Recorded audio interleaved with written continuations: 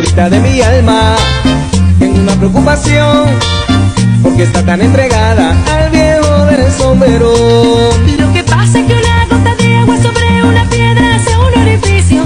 Ese viejo tiene su carrito y cada vez que pasa se sonríe conmigo.